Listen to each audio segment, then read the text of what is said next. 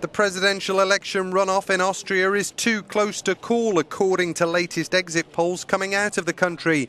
Projected results put both candidates on a virtual tie with around 50% of the vote each.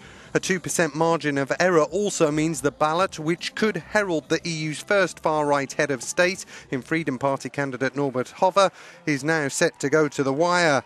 A large number of postal votes yet to be counted could hold the key to the presidency.